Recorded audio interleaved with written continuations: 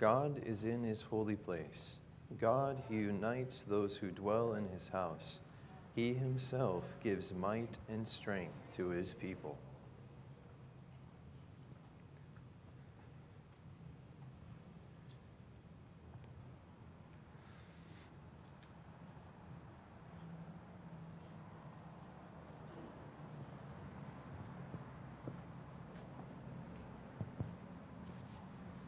In the name of the Father, and of the Son, and of the Holy Spirit. The Lord be with you. And with your spirit. Brothers and sisters, let us acknowledge our sins and so prepare ourselves to celebrate the sacred mysteries. I confess to Almighty God and to you, my brothers and sisters, that I have greatly sinned in my thoughts and in my words, in what I have done and what I have failed to do, through my fault, through my fault, through my most grievous fault. Therefore I ask the Blessed Mary, ever Virgin, the angels and the saints, and you, my brothers and sisters, to pray for me to the Lord our God. May Almighty God have mercy on us, forgive us our sins, and bring us to everlasting life. Lord, have mercy. Christ, have mercy. Lord, have mercy. Let us pray. O God, protector of those who hope in you, without whom nothing has firm foundation, nothing is holy, bestow in abundance your mercy upon us, and grant that, with you as our ruler and guide, we may use the good things that pass in such a way as to hold fast even now to those that ever endure. Through our Lord Jesus Christ, your Son, who lives and reigns with you in the unity of the Holy Spirit, one God, forever and ever. Amen.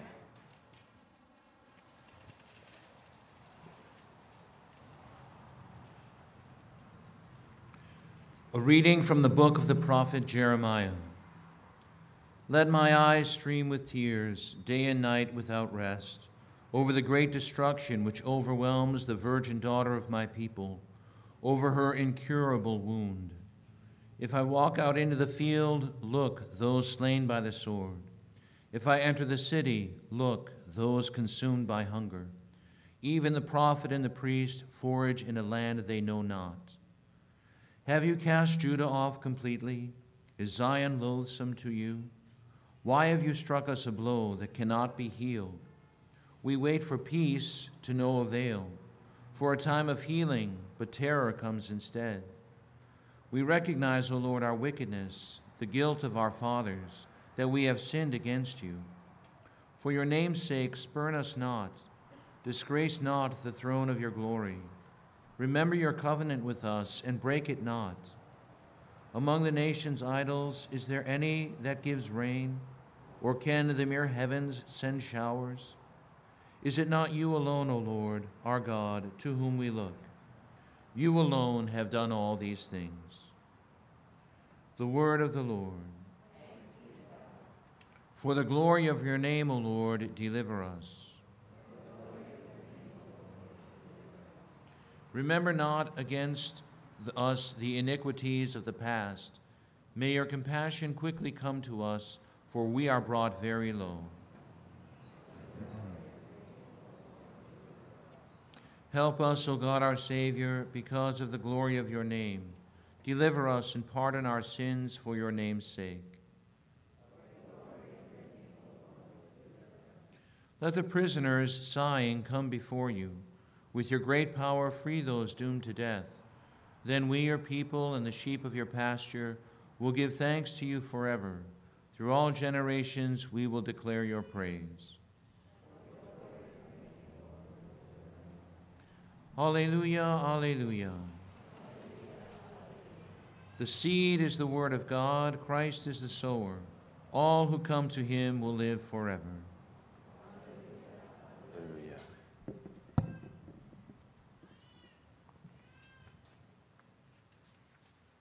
The Lord be with you.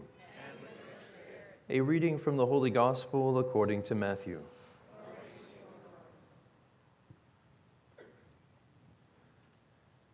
Jesus dismissed the crowds and went into the house. His disciples approached him and said, Explain to us the parable of the weeds in the field. He said in reply, He who sows good seed is the Son of Man. The field is the world. The good seed, the children of the kingdom. the weeds are the children of the evil one and the enemy who sows them is the devil. The harvest is the end of the age, and the harvesters are angels. Just as weeds are collected and burned up with fire, so will it be at the end of the age. The Son of Man will send his angels, and they will collect out of his kingdom all who cause others to sin and all evildoers they will throw them into the fiery furnace, where there will be wailing and grinding of teeth. Then the righteous will shine like the sun in the kingdom of their Father. Whoever has ears ought to hear. The Gospel of the Lord.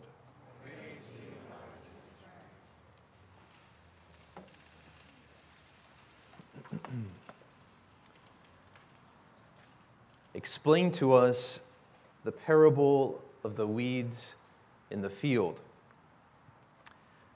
One of the priests at the Abbey, at St. Michael's Abbey, is the priest who is, you might say, principally in charge of the new Abbey construction project. He's the priest that works most closely with the construction company. His name is Father Gregory. And however, he, does not, he did not always have such a prestigious assignment or, jo- or job. When I first entered St. Michael's Abbey as a seminarian, Father Gregory was not in charge of the Abbey construction project, but he was in charge of the seminarian work crew. And he had to work his way up. I did not always have the prestigious assignment or job of working here at St. John's. I was on that seminarian work crew. Typically, the seminarian work crew would meet after our prayers and lunch in the afternoon, about three or four times a week. And it was made up mainly of the novices and postulants, those seminarians who were the, the newest members of the abbey, of the community. And it was there at that meeting that Father Gregory would give us our assignments, on which we were assigned to work throughout the afternoon until it was once again time for prayers. And there were a wide range of jobs. You could do anything from cleaning the church to cleaning bathrooms to cutting down trees to weeding a field. And so one afternoon, Father Gregory assigned the then Frater Brendan and another Frater, another seminarian, Frater Maximilian, to pick weeds in a field. And this particular field he, we had hoped to turn into a lawn. And Father Gregory had explained it as well, there's some weeds, you know, in this field, but there's also some grass. So, what I'd like you to do is try to preserve as much of the grass as you can and just pick the weeds so that eventually we can seed it and then grow a nice lawn. And so Father, Frater Maximilian and Frater Brendan went down to the field. And there we discovered that it was mainly a field of weeds. The spots of, or the places of grass may have been, you know, a quarter uh, in size in between those weeds. And we realized after not very long that this was an impossible task to complete in what Father Gregory thought we could do in about two and a half hours. It may have taken, you know, I later had told him, Father, it will take the whole month, if at least not, at least that, if we had every afternoon to work on it. And so as we worked on it, we quickly realized how difficult it was and how impossible it was. I was a little bit, I had, I was a year, I had entered a year before Frater Maximilian, or Father Maximilian now, and I could see Father Maximilian getting frustrated as we were working on the field. This was not the first time that I had been given an impossible task to accomplish during those work afternoons. So I was not quite as disturbed. And sometimes when you're working with someone who you could see is more frustrated than you are, you know, it's a little bit easier for you. So I tried my best to try to console Frater Maximilian. And eventually the, the afternoon ended. We did very little, but as much as we could. We were, later, the next afternoon, we told Father Gregory how difficult the assignment was, how impossible it was. And, you know, Father Gregory probably had not even looked at the lawn or the, the, the field before he gave us that excitement. And he said, Oh, no problem, no problem. And so that afternoon, he got a tractor and he went down and he plowed the field. Explain to us the parable of the weeds in the field. Father Gregory was kind of like God, who gives us our vocations, assignments, jobs, or tasks in life. The field of weeds is our vocation. It is an impossible task for us to accomplish, relying upon our own strength and our own natural gifts. Frater Brendan and Frater Maximilian were Father Gregory's guinea pigs, gullible and ignorant of the ways of the abbey and of the ways of God. The tractor was and is God's power, grace, and mercy. God comes in like Father Gregory on his tractor after we've been trying to weed the field for a long time until we finally re- realize that without the tractor, or without the grace and mercy of God, we are completely incapable of creating a beautiful lawn, or we are completely incapable of fulfilling God's commands and of ultimately arriving in, with Him and living with Him in heaven for all eternity. Whoever has ears ought to hear.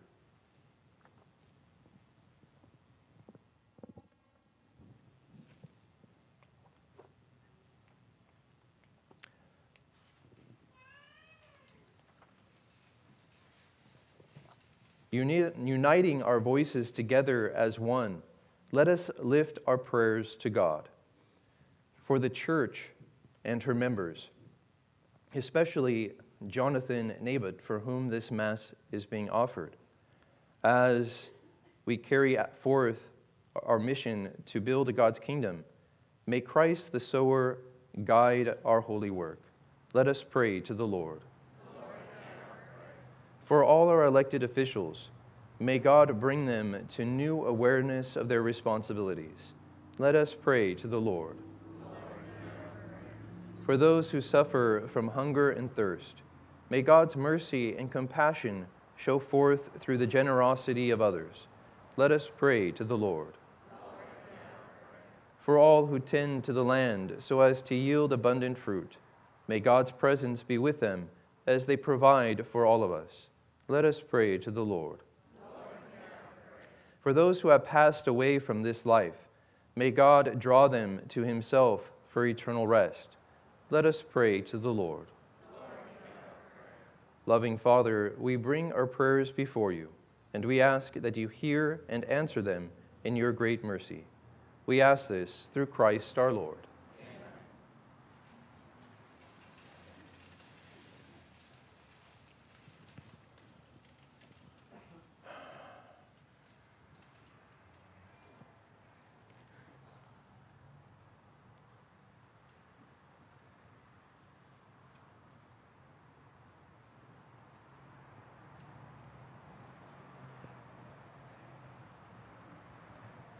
Blessed are you, Lord God of all creation, for through your goodness we have received the bread we offer you, fruit of the earth and work of human hands. It will become for us the bread of life.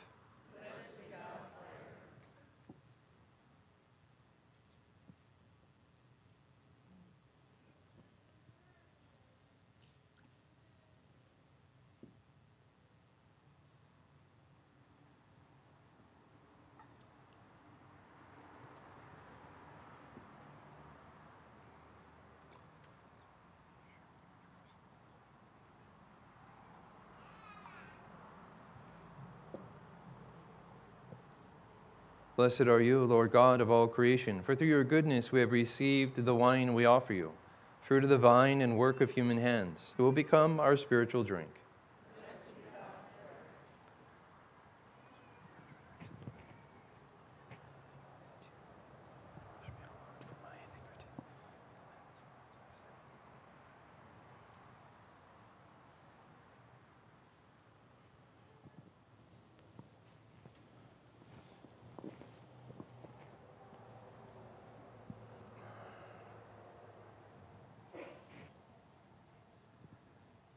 Pray, brothers and sisters, that my sacrifice and yours may be acceptable to God, the Almighty Father.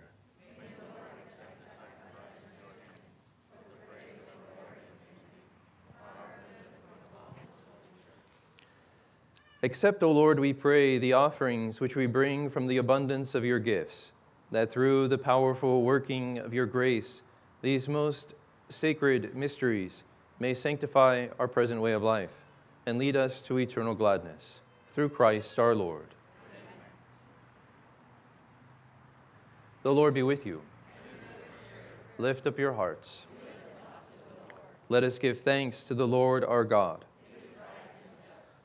It is truly right and just, our duty and our salvation, always and everywhere to give you thanks. Lord, Holy Father, Almighty and eternal God, for just as through your beloved Son, you created the human race, so also through him, with great goodness, you formed it anew. And so it is right that all your creatures serve you, all the redeemed praise you, and all your saints with one heart bless you. Therefore, we too extol you with all the angels, as in joyful celebration we acclaim. Holy, holy, holy Lord, God of hosts, heaven and earth are full of your glory. Hosanna in the highest. Blessed is he who comes in the name of the Lord. Hosanna in the highest.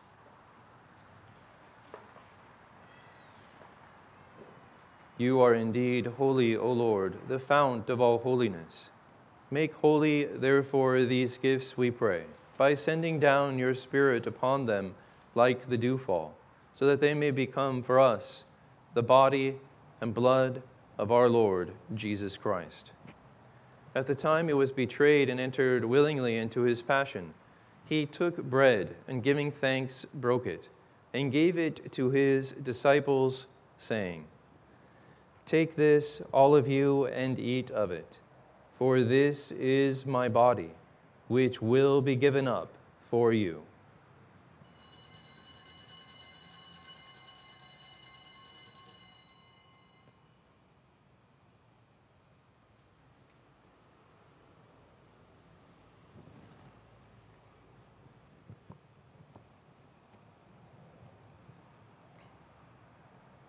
In a similar way, when supper was ended, he took the chalice, and once more giving thanks, he gave it to his disciples, saying, Take this, all of you, and drink from it, for this is the chalice of my blood, the blood of the new and eternal covenant, which will be poured out for you and for many, for the forgiveness of sins. Do this in memory of me.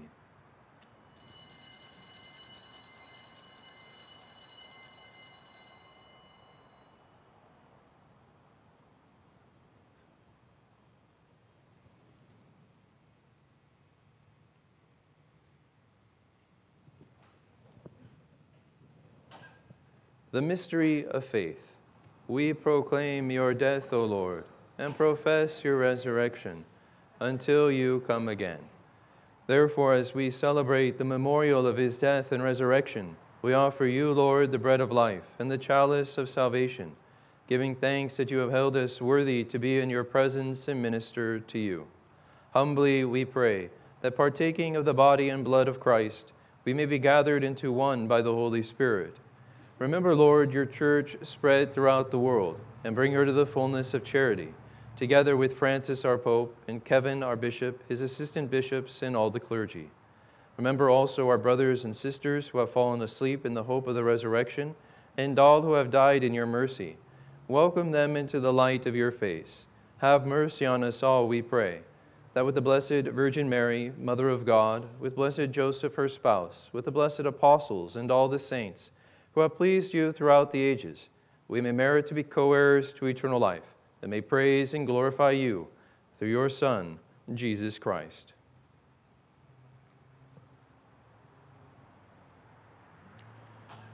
through him and with him and in him. O God, Almighty Father, in the unity of the Holy Spirit, all glory and honor is yours forever and ever. Amen.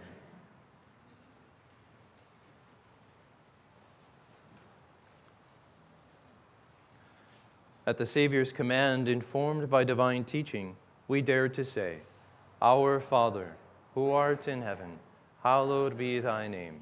Thy kingdom come. Thy will be done, on earth as it is in heaven. Give us this day our daily bread, and forgive us our trespasses, as we forgive those who trespass against us. And lead us not into temptation, but deliver us from evil. Deliver us, Lord, we pray, from every evil. Graciously grant peace in our days, that by the help of your mercy we may be always free from sin and safe from all distress, as we await the blessed hope and the coming of our Savior, Jesus Christ. Lord Jesus Christ, who said to your apostles, Peace I leave you, my peace I give you.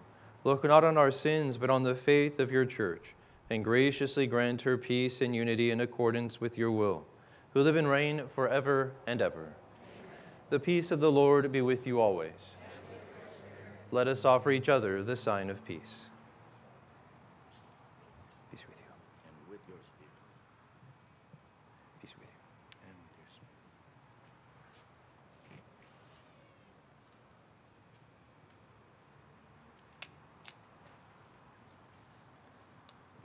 Lamb of God, you take away the sins of the world. Have mercy on us. Lamb of God, you take away the sins of the world have mercy on us. Lamb of God, you take away the sins of the world. Grant us peace.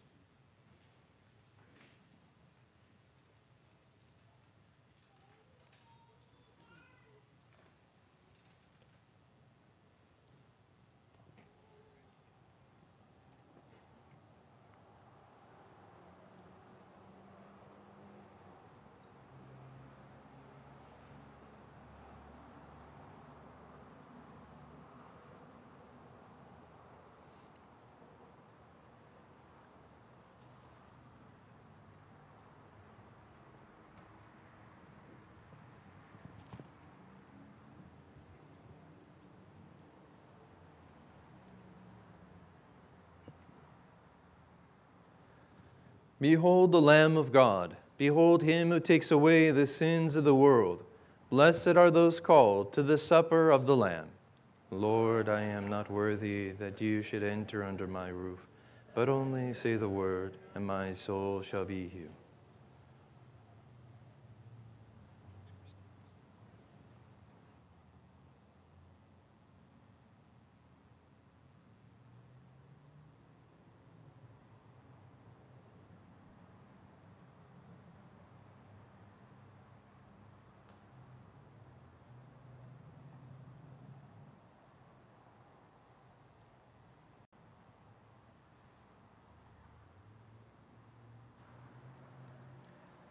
Bless the Lord, O my soul, and never forget all his benefits.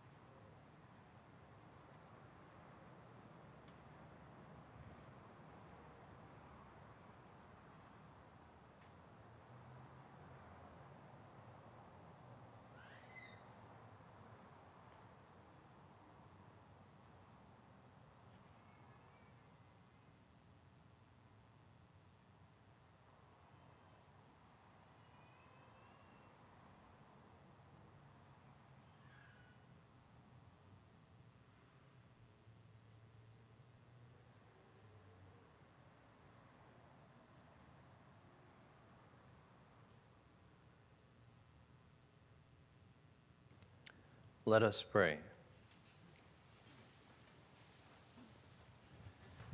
We have consumed, O Lord, this divine sacrament, the perpetual memorial of the passion of your Son. Grant, we pray, that this gift, which he himself gave us with love beyond all telling, may profit us for salvation. Through Christ our Lord. Amen. The Lord be with you. May Almighty God bless you, the Father, the Son, and the Holy Spirit. Amen. Go in peace. Saint Michael, the Archangel, defend us in battle. Be our defense against the wickedness and snares of the devil. May God rebuke him, we humbly pray. And do thou, O Prince of the heavenly host, by the power of God, thrust into hell Satan and all the evil spirits who prowl about the world, seeking the ruin of souls. Amen.